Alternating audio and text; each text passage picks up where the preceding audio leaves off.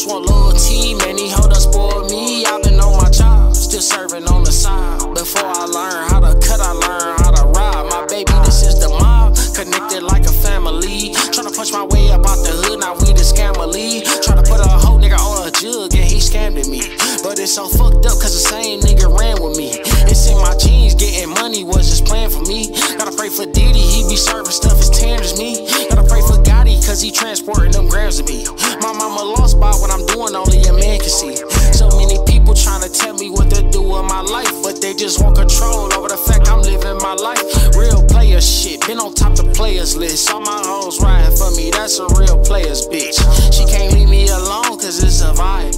I had went broke too many times and I got tired. If I ever told your ass that I love you, I never lied. Trying to get rich off of these narcotics we supply.